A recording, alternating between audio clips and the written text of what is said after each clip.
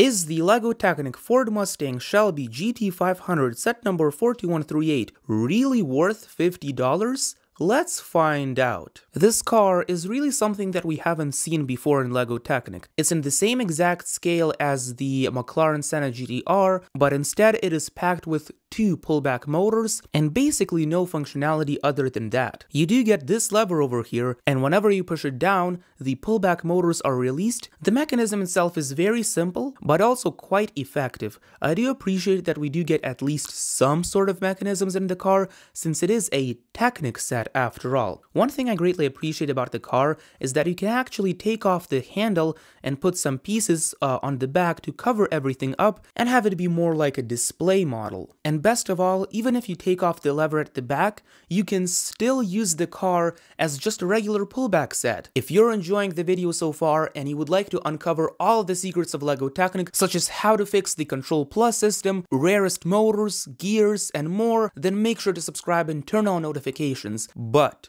no pressure, no pressure. Now, as a display model, I really don't have that many complaints.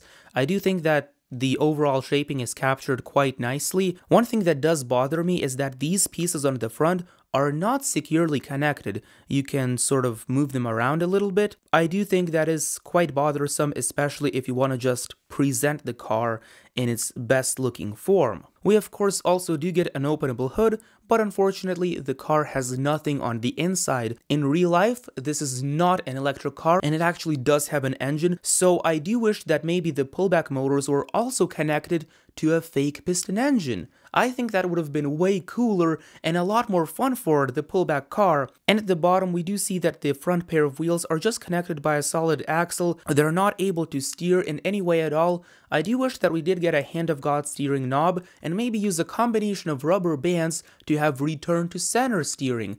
Uh, with a pullback set, you don't want the car to go in circles all the time, you want it to go straight, so just having a return to center mechanism would have been way better at the price of $50. The aesthetics of the car are quite nice. I do appreciate that we get a lot of lime Technic panels. Unfortunately, there is some color variation just like in the Lamborghini, but it doesn't look as bad as on the Lamborghini. It looks mostly the same lime since LEGO is using more panels here instead of the smaller pieces. The color problem here is definitely a lot better than with the Lamborghini. Unfortunately, not even the doors can open in this car. I mean, the Ford Mustang Shelby should have definitely had at least openable doors this is something to be expected out of any Technic car that is in this size, scale, and price range, so I do think that it is a missed opportunity to have openable doors. Of course, instead of paying for the Ford Mustang, you could just get two of the new pullback sets, get a similar amount of pieces, two pullback motors,